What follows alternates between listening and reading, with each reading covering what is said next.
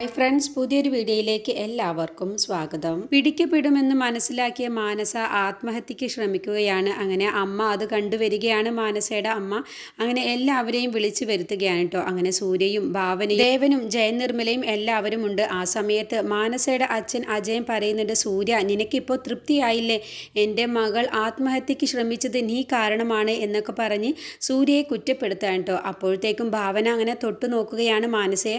എന്നിട്ട് സൂര്യയോട് പറയുകയാണ് എത്രയും പെട്ടെന്ന് മാനസയെ നമുക്ക് ആശുപത്രിയിൽ എത്തിക്കാമെന്ന് പറഞ്ഞ് സൂര്യ മാനസയെ എടുത്തുകൊണ്ട് നേരെ ഹോസ്പിറ്റലിലേക്ക് പോവുകയാണ് ആ സമയത്ത് ഭാവനയും മാനസയുടെ അച്ഛനും അമ്മയും കൂടെ ചെല്ലുന്നു ജയനിർമ്മലയും ദേവനും പോകുന്നില്ല. അങ്ങനെ ഹോസ്പിറ്റലിൽ എത്തിയ ശേഷം അഡ്മിറ്റ് ആക്കുകയാണ്. എന്നിട്ട് അപ്പോഴത്തേക്കും ഡോക്ടറൊക്കെ വന്ന് പരിശോധനയും കാര്യങ്ങളൊക്കെ ചെയ്യാൻ കേട്ടോ ആ സമയത്ത് ഡോക്ടർ ഭാവനയോട് പറയുന്നുണ്ട് ഇത് ഭാവനയുടെ ബന്ധു ആയതുകൊണ്ട് മാത്രമാണ് ഞാനിത് പോലീസ് കേസ് ആക്കാതെ ഈ പരിശോധനയൊക്കെ നടത്തുന്നത്. അല്ല എന്നുണ്ടെങ്കിൽ ആദ്യം പോലീസിൽ റിപ്പോർട്ട് ചെയ്യണം എന്നതിന്റെ ശേഷം മാത്രമാണ് പരിശോധന ചെയ്യാൻ പാടുകയുള്ളൂ എന്നൊക്കെയാണ് കേട്ടോ പറയുന്നത്. അങ്ങനെ ഭാവന ഡോക്ടറോട് താങ്ക്സ് ഒക്കെ പറയുകയാണ്. എന്നിട്ട് മാനസിക്ക് ട്രിപ്പ് കൊടുക്കുകയാണ്. ഈ സമയത്തൊക്കെ മാനസയുടെ അച്ഛനും അമ്മയും പൊട്ടിക്കരയുന്നുണ്ട്. എന്നിട്ട് ഭാവനയും സൂര്യയും കൂടി പുറത്തേക്ക് ഇറങ്ങണം. എന്നിട്ട് ഭാവന സൂര്യയോട് പറയണ് ഞാൻ ആനിനെ ഒന്ന് കണ്ടിട്ട് സംസാരിച്ചിട്ട് വരാമെന്നും പറഞ്ഞ് ഭാവന ആനിനെ കാണാൻ വേണ്ടി പോവുകയാണ്.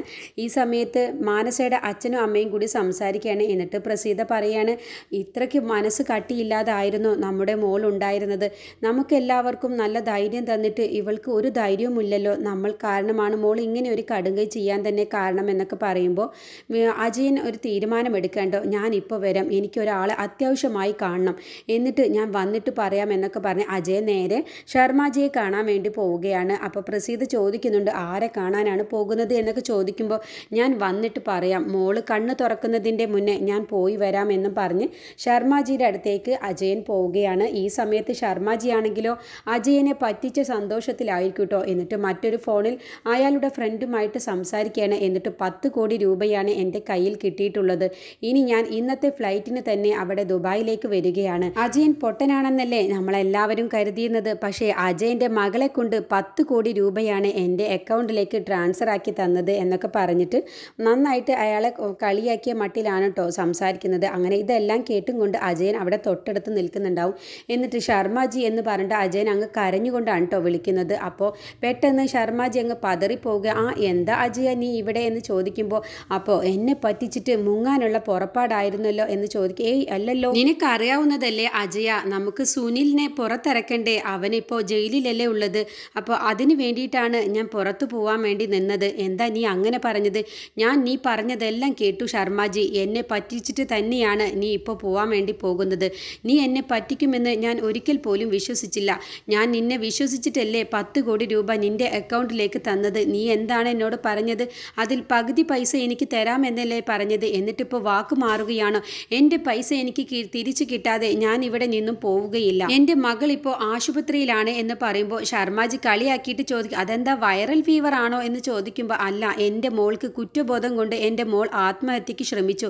അവൾ ഇപ്പോൾ ആശുപത്രിയിലാണ്. അതുകൊണ്ട് ശർമാജി ഞങ്ങളോട് കനിവ് കാണിക്കണം. ആ പത്ത് കോടി രൂപ സൂര്യയുടെ അക്കൗണ്ടിലേക്ക് തന്നെ തിരിച്ചിട്ട് കൊടുക്കണം എന്ന് പറയുമ്പോൾ ശർമ്മജിയുടെ സ്വഭാവം അങ്ങ് മാറുകയാണ് കേട്ടോ എന്നിട്ട് പറയുകയാണ് എനിക്ക് തന്ന പൈസ തിരികെ തരാനോ? അത് ഒരിക്കലും നടക്കില്ല. അത് തിരികെ തരുമെന്ന് നീ പ്രതീക്ഷിക്കുകയും വേണ്ട. നീ മര്യാദയ്ക്ക് ഇവിടെ നിന്നും പോയിക്കോ എന്ന് പറയുമ്പോൾ അജയൻ പറയും ഇല്ല ഞാൻ ഇവിടെ നിന്നും പോവില്ല.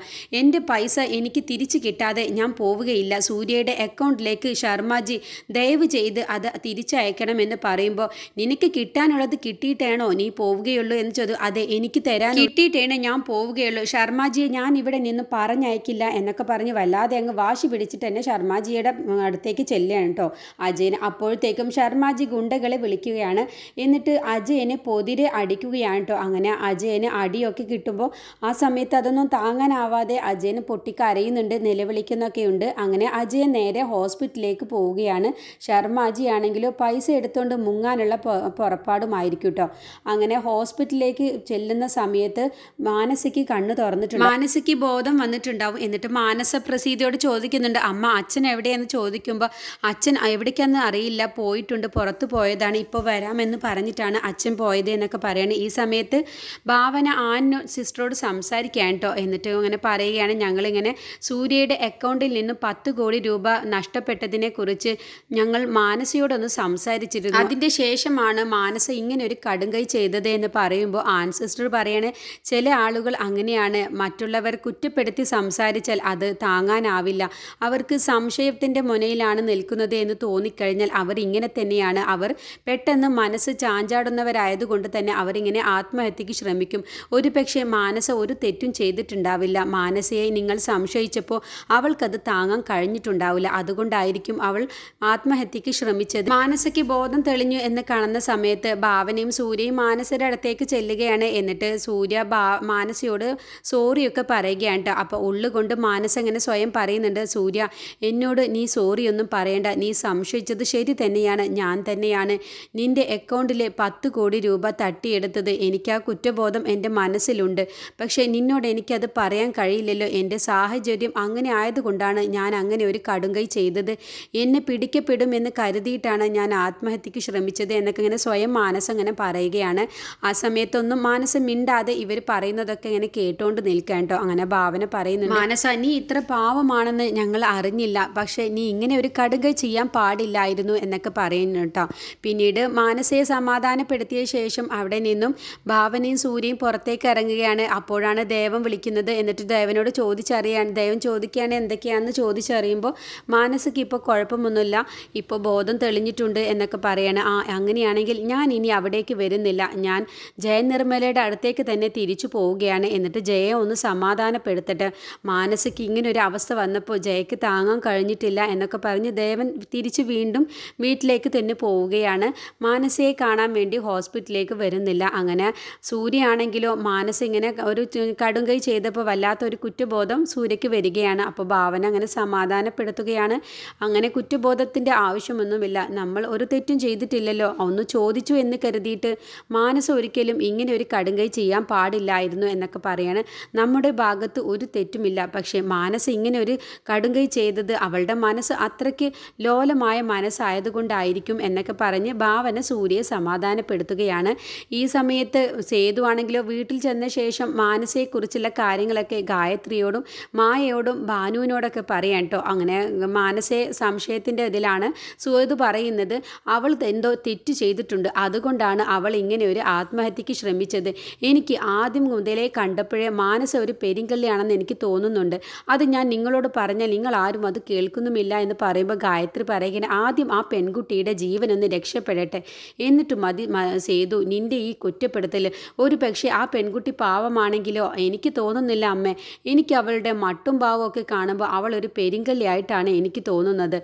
എനിക്കെന്തോ വിശ്വസിക്കാൻ കഴിയുന്നില്ല. അവളായിരിക്കും ഒരു പക്ഷേ പത്ത് കോടി രൂപ എടുത്തതിന്റെ പുറകെ ഞാൻ ഭാവനയെ തന്നെയാണ് കുറ്റപ്പെടുത്തുകയുള്ളൂ. ഭാവനയ്ക്ക് എല്ലാവരെയും വല്ലാത്ത അങ്ങ് വിശ്വാസമാണ്. ഇപ്പൊ പോരാത്തതിന് സൂര്യയുടെ കമ്പനിയിൽ മാനസയ്ക്ക് ജോലിയും കൊടുത്തിരിക്കുന്നു. ഇതൊക്കെ വെച്ച് നോക്കുമ്പോൾ എനിക്ക് ഉറപ്പായിട്ടും മാനസ തന്നെയാണ് ആ പത്ത് കോടി രൂപ എടുത്തതിന്റെ പുറകിലെന്നാണ് എനിക്ക് തോന്നുന്നത്. അത് പിടിക്കപ്പെടാതിരിക്കാൻ വേണ്ടിയിട്ടായിരിക്കും അവൾ ഒരു പക്ഷേ ആത്മഹത്യക്ക് ശ്രമിച്ചത് എന്ന് പറയാണ്. അങ്ങനെ മായ പറയാണ് സേതുവേട്ട ഒന്നും മിണ്ടാതിരിക്കും. നമ്മുടെ കയ്യിൽ ഒരു തെളിവുമില്ലല്ലോ. അപ്പോൾ സംശയത്തോടു കൂടി ആരെയും കാണണ്ട. തെളിവുകളുണ്ടെങ്കിലല്ലേ സംശയിക്കേണ്ടതുള്ളൂ എന്നൊക്കെ പറയുമ്പോൾ ഗായത്രി പറയാൻ സേതു നീ ഒന്നും മിണ്ടാതിരിക്ക്. ആദ്യം ആ പെൺകുട്ടിയുടെ ജീവൻ ഒന്ന് രക്ഷപ്പെടട്ടെ. എന്നതിന്റെ ശേഷം മതി. ഇതാരാണ് കട്ടെടുത്തത്? ആരാണ് ഇതിന്റെ പുറകിലെന്ന് നമുക്ക് കണ്ടെത്താം എന്നൊക്കെ പറയണേ. അങ്ങനെ സേതു പിന്നെ അവിടെ നിന്നും പോവുകയാണ്. ഈ സമയത്ത് മാനസയുടെ അടുത്തേക്ക് വീണ്ടും ഭാവനയും സൂര്യയും കൂടി സംസാരിക്കുമ്പോഴാണ് അവിടേക്ക് അജയൻ വരുന്നത്. എന്നിട്ട് അജയൻ പൊട്ടിക്കരയുകയാണ്. എന്നിട്ട് അജയൻ മാനസയോട് പറയുകയാണ് മോളെ ഈ അവസ്ഥയിലാക്കിയത് അച്ഛനാണ്. അച്ഛനോട് നീ ഒന്ന് ക്ഷമിച്ചേക്ക് എന്നൊക്കെ പറഞ്ഞ് മാനസയുടെ മുന്നിൽ വെച്ച് അജയൻ പൊട്ടിക്കരയുകയാണ് കേട്ടോ. എന്നിട്ട് സൂര്യയോടും പറയുന്നുണ്ട് സൂര്യ നീ എന്നോട് ക്ഷമിക്കണം. എനിക്ക് നിന്നോട് കുറച്ച് കാര്യങ്ങൾ പറയാനുണ്ട്. നീ ഒന്ന് പുറത്തേക്ക് വായോ എന്ന് കരഞ്ഞുകൊണ്ട് അജയൻ പറയാൻ കേട്ടോ. അപ്പോൾ പുറത്തേക്ക് സൂര്യയും ഭാവനയും പുറത്തേക്ക് ഇറങ്ങുകയാണ് അജയന്റെ കൂടെ. അപ്പോൾ മാനസ പ്രസീതയോട് പറയുന്നുണ്ട് അമ്മ അച്ഛൻ എല്ലാ കാര്യവും ഇനി തുറന്നു പറയുമോ? എന്ന് അച്ഛൻ എന്ത് വിഡ്ഢിത്തരമാണ് ഈ കാട്ടാൻ പോകുന്നത്? എന്ന് ചോദിക്കുമ്പോൾ എനിക്ക് തോന്നുന്നത് ശർമ്മജിയെ കാണാൻ വേണ്ടിയിട്ടാണ് അച്ഛൻ നേരത്തെ പോയത്. അവിടെ പോയിട്ട് എന്താ ഉണ്ടായെന്ന് അറിയില്ല. പിന്നെ നീ ഇങ്ങനെ ഒരു അവസ്ഥയിലായപ്പോൾ അച്ഛന്റെ മനസ്സാകെ തകർന്നിട്ടുണ്ട്. അതുകൊണ്ട് ഒരു പക്ഷേ സൂര്യയോട് എല്ലാ കാര്യവും അച്ഛൻ പറയാൻ സാധ്യതയുണ്ട് എന്നൊക്കെ പ്രസീത മാനസയോട് പറയാൻ അങ്ങനെ മാനസ ഇനിയിപ്പോൾ എന്ത് ചെയ്യണമെന്നറിയാതെ മാനസയും ആകെ വിഷമിച്ച് അവിടെ കിടക്കുകയാണ്. ഈ സമയത്ത് അജയൻ സൂര്യയോടും ഭാവനയോടും ചേർന്ന് പറയുകയാണ് എന്നോട് നിങ്ങൾ ക്ഷമിക്കണം. എന്റെ അവസ്ഥ അങ്ങനെയായിരുന്നു. എന്റെ മകൾക്ക് വേണ്ടിയിട്ടാണ് ഞാൻ ഇങ്ങനെയൊക്കെ ചെയ്തത് എന്ന് പറയും. എന്താണ് അങ്കിൾ പറഞ്ഞു വരുന്നത്? എനിക്കൊന്നും മനസ്സിലാകുന്നില്ല. മനസ്സിലാകുന്നില്ലല്ലോ എന്ന് പറയുമ്പോൾ സൂര്യയുടെ അക്കൗണ്ടിലുള്ള പത്ത് കോടി രൂപ എടുത്തത് ഞാനാണ്. ഞാനാണ് അത് ഒ ടി പി പറഞ്ഞു കൊടുത്തത്. സൂര്യയുടെ ഫോണിൽ വന്ന ഒ ടി പി പറഞ്ഞു കൊടുത്തത് എന്നൊക്കെ പറഞ്ഞ് അജയൻ സ്വയം കുറ്റം അങ്ങ് ഏൽപ്പ് ഏൽക്കുക എന്നിട്ട് അജയൻ അങ്ങ് പൊട്ടിക്കരയുകയാണ്. അപ്പോഴത്തേക്കും ഭാവനയും സൂര്യ ആകെ അങ്ങ് തരിച്ചു പോവുകയാണ് കേട്ടോ. എന്നിട്ട് സൂര്യക്ക് ദേഷ്യം വരികയാണ്. എന്നിട്ട് അജയന്റെ കോളറയിൽ കയറി പിടിക്കുകയാണ്. എടോ താൻ എന്തിനാണോ ഇങ്ങനെ ഒരു ചതി എന്നോട് ചെയ്തത് എന്നൊക്കെ പറഞ്ഞ് ദേഷ്യപ്പെടുകയാണ്. അപ്പോൾ ഭാവന പറയുന്നുണ്ട് വേണ്ട സൂര്യ ഇങ്ങനെയൊന്നും ചെയ്യല്ലേ എന്നൊക്കെ പറഞ്ഞ് ഭാവന തടയുകയാണ്. എന്നിട്ട് പറയുകയാണ് എന്നോട് ക്ഷമിക്കണം. എന്റെ മകളുടെ ജീവൻ രക്ഷിക്കാൻ വേണ്ടിയിട്ടാണ് ഞാൻ ഇങ്ങനെ ചെയ്തത്. എന്റെ മകളെ കൊലക്ക് കൊടുക്കാൻ പറ്റാത്തത് കൊണ്ടാണ് ഞാൻ ഇങ്ങനെ ചെയ്തത്. ശർമാജിയാണ് ഇതിന്റെയൊക്കെ പിറകിൽ എന്നുള്ള എല്ലാ സത്യവും അജയൻ ഫുള്ളായിട്ട് അങ്ങ് പറഞ്ഞു കൊടുക്കാൻ കേട്ടോ. അങ്ങനെ അത് കേൾക്കുമ്പോൾ സൂര്യ ഒരു തീരുമാനം എടുക്കുക അടുത്ത എപ്പിസോഡിൽ സൂര്യ ശർമാജിയെ കാണാൻ വേണ്ടി പോകണം എന്നുള്ള തീരുമാനം എടുത്തിട്ടുണ്ടാവും. അങ്ങനെ പത്ത് കോടി രൂപ തിരിച്ചു മേടിക്കണം എന്നുള്ള വാശിയിൽ തന്നെയാണ്. കേട്ടോ. ഈ സമയത്ത് ശർമ്മജി ആണെങ്കിൽ ദുബായിലേക്ക് പോകാൻ വേണ്ടിയിട്ടുള്ള എല്ലാ കാര്യങ്ങളും റെഡിയാക്കുകയാണ്. എന്നിട്ട് പുറത്തേക്ക് ഇറങ്ങാൻ വേണ്ടി പോവുകയാണ്.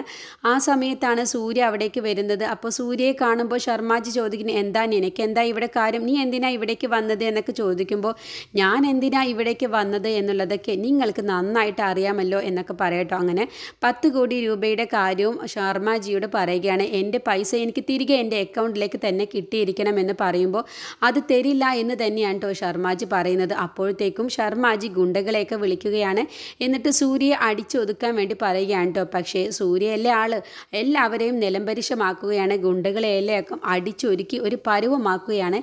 എന്നിട്ട് ശർമാജിക്കിട്ടും നന്നായിട്ട് തന്നെ പൊട്ടിക്കുന്നുണ്ട് എങ്ങനെ? ശർമാജിയുടെ കയ്യിൽ നിന്നും പത്ത് കോടി രൂപ സൂര്യ തിരിച്ചു വാങ്ങുകയാണ് കേട്ടോ ചെയ്യുന്നത്. അങ്ങനെ സൂര്യക്ക് മുന്നിൽ ശർമാജിയുടെ ഒരു കളിയും നടക്കുന്നില്ല. അങ്ങനെ സൂര്യയുടെ അക്കൗണ്ടിലേക്ക് പത്ത് കോടി രൂപ ശർമാജിയെ കൊണ്ട് തന്നെ ട്രാൻസ്ഫർ ആക്കിക്കുകയാണ് ചെയ്യുന്നത്.